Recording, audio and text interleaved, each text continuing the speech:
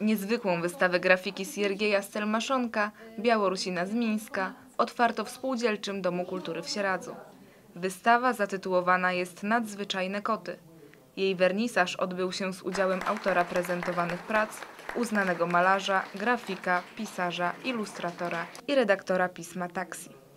Już sam tytuł wystawy zachęcał do zobaczenia, w jaki sposób można przedstawić te małe stworzenia. Dlaczego akurat koty są głównym tematem grafik Siergieja Stelmaszonka?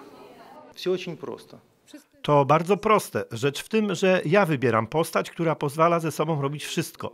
Na przykład mogę zrobić z kotka samolot albo wagon metra, albo serię rok kotów. Teraz zacząłem robić serię kotów filmowych.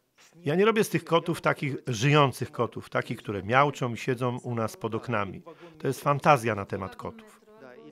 Jeśli poznamy bliżej Siergieja Stelmaszonka, przekonamy się, że malowanie nie jest jego jedyną pasją. Jako wszechstronnie uzdolniony, artysta pokazuje się światu z różnych stron. Jestem redaktorem naczelnym czasopisma. Piszę też bajki dla dzieci. Na Białorusi i w Rosji opublikowałem pięć książek z takimi bajkami. Niebawem ma się ukazać po polsku, angielsku i rosyjsku kolejna książka poświęcona kotom. Zajmuję się również fotografią. Poza tym robię napisy do filmów. Nie wiem, czy Państwo wiecie, zrobiłem reportaż, w którym pokazuję duży plac w Rzymie, gdzie właśnie mieszkają koty. O tym mało kto wie. Ostatnio można zauważyć duże zainteresowanie przyjazdami Białorusinów do Polski. Dlaczego odwiedzają nasz kraj tak chętnie? Ponieważ czujemy tutaj bardzo dużo serdeczności ze strony Polaków. I dlatego, jak mi się wydaje, mamy dużo wspólnego, na przykład poczucie humoru. Znam dobrze polską szkołę plakatu, polską karykaturę Andrzeja Mleczkę Dudzińskiego.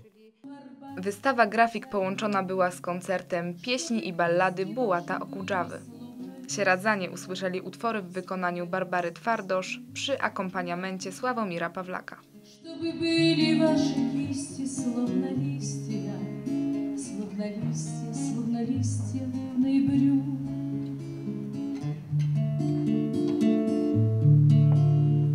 Окуните ваши кисти в голубое, Отрадите A skąd pomysł na taką wystawę?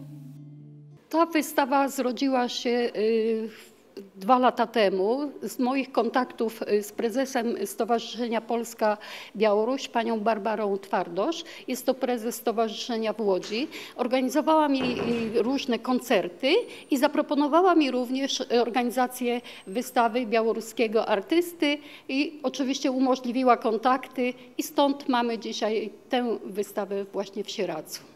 A poza tym jest to dwa, rok 2012, jest Międzynarodowym Rokiem Spółdzielczości. Wystawę Nadzwyczajne Koty będzie można oglądać do 14 maja w Spółdzielczym Domu Kultury w Sieradzu. Zachęcamy również do odwiedzania strony internetowej artysty, na której można zobaczyć więcej jego prac.